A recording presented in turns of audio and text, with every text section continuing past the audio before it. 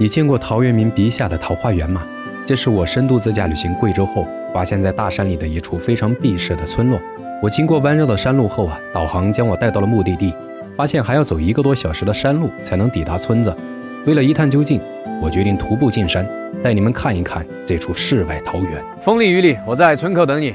Hello，大家好，我是简小白。我现在呢，带着安妮、波妞，来到了一座大山里面。我今天呢，要徒步一个多小时，走到山里面一个与世隔绝的村庄。现在呢，就跟着咱出发，咱们去看一看那里到底有什么吸引着我。这个进来以后啊，我们要沿着一条河一直往上走，然后呢，这里有一条步道啊，挺幽深的啊，一直跟着这个大山一直往里面走。真的要走一个多小时，完全不骗你们。哇塞，你们看一下这个河水，夏天来的话就好爽啊！看一下这个河水，非常漂亮啊。如果咱们到这里来玩啊，夏天的时候这里相当舒服。咱们现在要过桥啦！哇塞，还是这种木桥。哇，这里好漂亮。我也不知道我是哪根筋发癫，我要走一个多小时去里面。但是还好的一点是，它这里面的这个路是铺平了的，然后可以一直走到村子里面去。我现在特别好奇那个村子到底长啥样啊！千万不能让我再像上一次去那个地方失望了。沿着清澈见底的溪流一路往上，崇山峻岭间流淌的溪流声，以及虫鸣鸟叫的声音，听着清脆悦耳，沁人心脾的空气。令人无比放松。走了大约半个钟头后，就在我经过一段漂亮的瀑布后啊，我遇到了这位下山喂马的当地村民。你去哪里啊，哥？要拿去那里孔吃草啊。你们是住在这山里面的吗？对啊，我们住在山山山里面。那个村子啊，是不是还要往这里面走啊？对啊，要往里面走。我们是进来玩。从哪个地方来啊？我也是贵州的，贵州遵义人。哎，要不要跟我去我家坐一坐？去你家坐啊？对啊对啊。还要走多久啊？这里进去二十分钟，还要走二十多分钟。我都快饿死了。走吧。啊，那我跟着你一块儿进去逛逛。你平时用这个马在干嘛呀，哥？拖东西啊。拖东西啊？要拖重东西就只能用马拖进来。对，用马用摩托车。哦，这个会不会踢人呢？不会。我被踢过哎。你被踢过？对啊，所以我很怕。走吧。啊。你你干嘛？啊你完了，这个路还要走二三十分钟，我真的不想走了。我已经走了半个小时了。原来这位大哥就是我要去寻找的桃花源里的村民。正好这天他下山来喂马，然后我就和他这样碰上了。这突然在幽深的山里出现牵着马的村民，让我感到有点诧异。毕竟走了这么大一段路，我一个人也都没有发现。大哥的突然出现，让我感觉像走进了幻境，来到了另外一个世界。你们这个村子现在有多少人住在里面呢？三十多个吧。三十多户啊？三十多个。只有十六户。对。你姓啥，哥？姓刘。姓刘，刘德华的刘。对对对对。啊，你们这里面风景这么好。路也有点不太好走。去年我们才搞好了这个路。去年才搞好的。对。以前全部是那种沙，全部是那种小路、泥巴路。一个姓，姓简，叫我小白就可以了。小白是吧？啊，对，我是做那个拍视频记录乡村生活。这种乡村小路，像以前你没走过？啊走过啊，有的地方也是这种山路，但是你们这个地方风景真的太美了，空气还是比较好。到上面又又又又是另外一种风景。忽逢桃花林。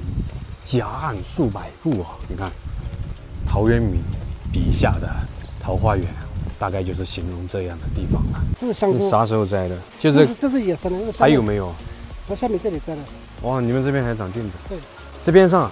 对边上，回家拿草吃。住在山里面呢，靠山吃山呢。你们这边山里面都有一些什么吃的，哥？野山药啊，野生香菇啊，野生灵芝啊，野生蜂蜜啊。蜂蜜。对。哦，还有野生的茶。对，饿着肚子走山路，真的是 快崩溃了。一开始我还挺放松的，随着坡度的爬升，真的是累死人。虽然经常走南闯北的，双脚丈量大地，但很少这样去丈量啊。又冷又热的感觉，这种体验太酸爽了。不知道你们有没有感受过，身上冒着汗，但又觉得很冷。当代年轻人爬山，唉，唉，一开始自信满满，走一段路之后，到后面就掉链子了。你们每天都要这样进出吗，哥？赶集的时候再出去，大大家都会出去赶集，啥时候赶集啊？风沙风八都都赶，我快走不动了，哥，马上到站子上面去，快到了，嗯，快到了。啊，累死我了！我中午饭都没吃，我本以为这个地方会有吃的，结果没有，饿断肠了，快！哇，哇塞，这地方可以哦，这地方不错，啊，哇！经过一个多小时的徒步，我终于来到了这处世外桃源。幸运的是，它并没有让我失望，甚至超出了我的预期。即便是在这样糟糕的天气，也特别惊艳。这让我想到了1999年那部电影《那山那人那狗》。邮差背着沉重的信件，来到一处又一处大山深处的村落。当我亲眼见到这样的画面时，内心深处真的有被触动到。你们这个地方太漂亮了，可以，我来的值。虽然我快累死了，这小屋一栋一栋的，真的不错。你们两个喝饱了没？哇，我太爱这个地方了，真的太爱了。这个村子啊，给大家说一下，它全部都是这样的木头建造的，和我以前老家的房子特别像。这边和苗族又不一样哈、你看它就是这种，也是吊脚的那种形式啊，房子的雕花也还是挺精美的啊。我在想，这个地方十几户到这么深的山里面，他们是怎么会想到到这里面来住的啊？那里还有那么多风筒，看到没？哎，你别看，在这样的老房子，它这个卫生间还挺不错的。你看一下，这卫生间也挺干净的，是吧？你别看这大山的农村，在这里面待一段时间还挺好的。听着这个流水的声音啊，晚上睡觉应该睡在这里很催眠呢。家家户户我都发现了，他们都会有这样的一个楼台哈。你看他们这个水，用都用不完，山泉水啊，非常干净。我很推荐大家来这里，很避世的一个地方，因为它需要走路。但是走路这个经历，就帮我们筛选掉、淘汰掉很多人啊。只有真正热爱这个地方的人，他才会花这个时间从那里走进来。啊，从遵义过来的呀，要喝水吗？山泉水啊，哎，那里面的不能喝。嘿，可以可以可以，咱洗衣服了可以可以？哦，好吧，那么喝吧。给你打包一点回去啊。打包点，可以，给个瓶子给你打包点回去。打包点回去。哎，兄弟你好，你好，你好，你们是从哪里来的呀？我从外面来的，遵义，走路累死我了。进下坐嘛，进下坐。嗯，好，好，好。你们这里我没想到还有年轻人哦。Hello，兄弟你好。哇，你们家真好嘞，哥。你们这个是以前的老房子吗，哥？对对对，还有吃点东西啊，哦，这我不行。阿姨你好。哦，你们先吃了点嘛。哎，好好好好，谢谢谢谢谢谢，我好喜欢他们这里，我带你们来这边看看。它这个屋啊，你看这么大一栋，这个楼台是连起来的，可以走到这边来，真的让我感觉回到了看那部电影《那山那人那狗》那个场景，心里面有点那种说不上来，有一点酸酸的感觉，像回到了我小时候嘞。天哪，他们这地方太棒了。叔你好，你好你好你好叔，我是从外面来的。要走吧？哎，好好好，我跟着那个旁边的那个姓刘的那个大哥，哦他带着我进来的。可以可以可以，那要走吧。啊，行行行行行，我们先过去坐一坐。那个刘哥他叫我过去坐坐，我还没进屋呢。啊，好，你看我们这边信号都不是很好的，我们今年刚通路嘛，就是说慢慢的、呃会好起来的。我相信很多人看了视频，很想到这里来。我去过很多很多地方，但是这个地方真的让我感到了内心一下子就是回到了小时候。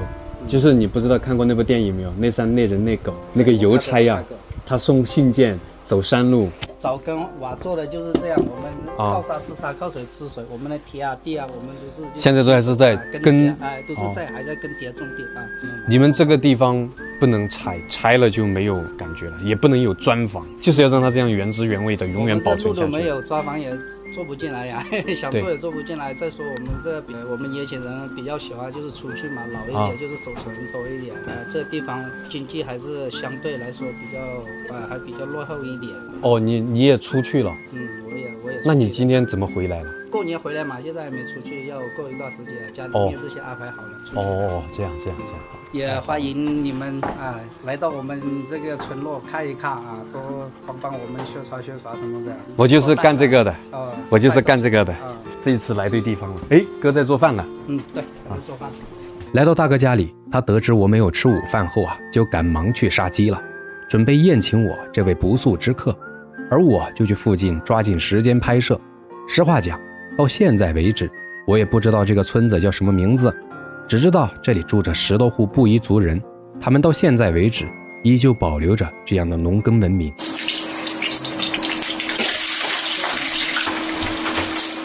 哇，放这么多辣椒啊！我天，这么多、哦！不辣啊？这个辣椒的香味好香啊，真的很香。大哥，你也是一手好厨艺嘞。没有啊，随便弄啊！你叫我这样随便弄，我还弄不出来。已经好了吗？可以了。这么快就好啦？嘿嘿，哎呀，受不了了，真的，真是真的受不了了。三点多钟啊，我中午饭没吃，三点多钟了。妈妈就开整了。嗯你们搞，但凡沾了酒精啊，我都不能搞。嗯，他呢对，？要不给他开，你可以搞啊。他开他不会开呀、那不会开，对啊他这怎么会开？不会开就喝酒，十五吗？来来来来，来摇。开整开整。这农村农村农村生活，这个腊肉真的是哇！美食品鉴时间又到了啊，尝尝大哥的手艺。嗯，这个腊肉真好，好啊，啊，好多吃的。刚刚好嘞。你这个腊肉做的是真的太好了，啊，薄薄的，然后吃起来那个口感特特别好。尝一尝大哥的辣子鸡，嗯，可以嘞，哥。哎，可以嘞，真不错嘞。用我们贵州话说，有两把刷子。鲜香度很好，这个辣子鸡，刚长好的鸡鸡哈，嗯，对，嫩很嫩。辣子鸡这样的做法，可能你看着觉得很普通，但它的独特之处在于当地的土鸡、当地的辣椒，全都是原生态的绿色食材，这口感、这味道，真的不是城里的餐馆能媲美的。再加上这大哥一手好厨艺，简直太诱惑人了。鸡的颜色金黄金黄的，吃着就很好吃，你知道吗？太棒了，这个味道。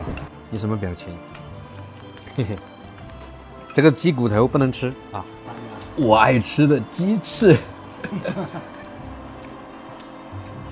这个鸡肉轻轻一搅就下来了。我们吃一个这个，对，哇，大鸡罐子。哎呀，哎，你眼睛都看到我碗里面来了，这大鸡罐子好香。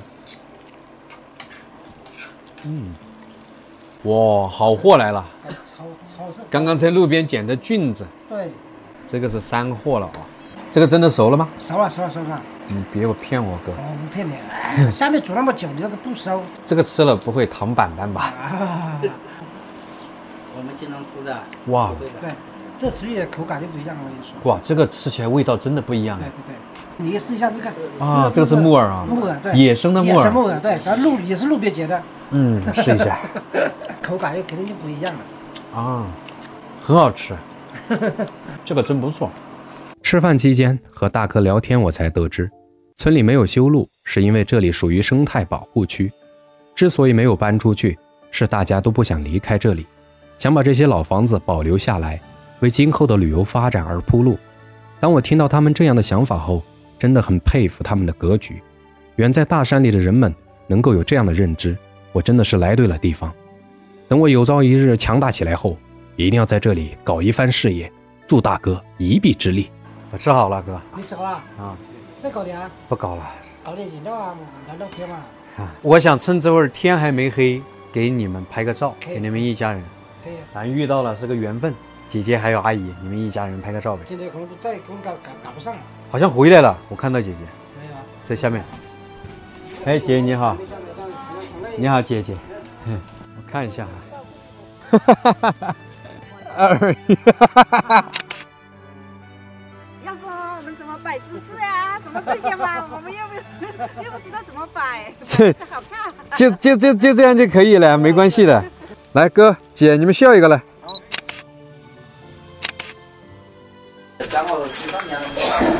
当当当当，来看一下哥，非常感谢阿姨你啊，阿姨你看一下，非常感谢你啊，小白。下次你有机会，啊你来到我这里，自己安心在西瓜上，我们搞比较，我们家乡虽然贫苦，很好的地方。我，们家乡虽虽很好的然虽地方。然虽然贫贫苦，那不贫苦这个地方不贫苦。然后呢，你要这个地方你要是搞啊，呃，要吃虾虾鱼鱼肯定没有，搞什么土鸡啊之类肯定会有，但啊是你要提前预定。到我这里，我给你给你给你准备。我这个人比较比较直，讲好话好好不会拐弯。没事的没事的不会拐弯。好好好好好，我们晚上聊下天，明天走，行不行？住的话，我们就不在这里住了，实在是太太忙了。做这个工作的，你要是不更新视频，粉丝他就要纷纷要取关了，赶紧得把贵州想拍的地方我拍完，我又去下一个地方拍了。没事没事没事，下一次再来嘛哈，哥，好下一次再来。好，下一次你把马牵着到外面去接我。我可以找在上的兄弟跟我在摩托车跟你们搞经理就 OK 了，不用走这么辛苦的路，好好好好，就这样。我以为这个地方不通车。这么大的路，摩托车肯定稳稳当嘛。对呀我老婆是隔壁车的，但她嫁给我，我觉得很幸福。那时候这里没通路嘞，我老我老是被卖婆跟我进来的，被人家拐进来的，说哄骗他们了，他们就相信了。是你拐进来的，不是别人拐进来的。九九年结的婚，大的孩子已经出在外面已经工作了，已经在外面工作了呀，这小的女儿现在上初二，在上初中啊。在我们对都沙最好的一所中学。看着大哥如此开心，想必他一定是娶对了老婆。从隔壁村嫁到这里来的姐姐，为他生下一儿一女，一家人其乐融融的生活在山里，计划着未来的日子，真的很幸福吧？哦，你们打工的时候出去挣了还是挣了钱哦？这挣了一点小钱。去云南嗯，待了十年，我们两个。那我老婆待了十年，我待了十二年。我父亲今年七十八岁，我老母亲也是七十岁。啊，现在出去外面打工也去不了了，两个老人年纪大。家里面没人照看。哦，好，我多多宣传，以后有机会我也来这个地方发展呗。都说酒后吐真言，看得出来，大哥也是一个性情中人。一开始姐姐还挺害羞的，熟络起来以后啊，也聊了很多关于他们年轻时候的故事。为了方便照料家中的老人和孩子，当地的产业发展趋势也还不错，才决定留在山里生活。行吧，那姐哥，我们呢也不寒暄了。今天晚了嘛？今天要不姐完住晚上？我下一次等天气好的时候来你们这里住个住个几天。那咱们走了 啊，好，那我们就先走了，拜拜。别送了，回去吧哈。下次请过来，下一次再来我在这里住啊。接待你们。好好好，拜拜拜拜拜拜拜拜。我下次下次再来啊啊！我现在又要走一个小时。呃，如果陶渊明笔下的桃花源真实存在，我想应该就是这里。勤劳善良的人们，古老避世的村寨，真的很符合我心中的桃花源。如果让我再来一次，我依旧愿意走上这么远的山路。我是简小白，怀着一颗炽热的心，奔赴远方的星辰与大海。美好的故事，永远在下一片乡土里。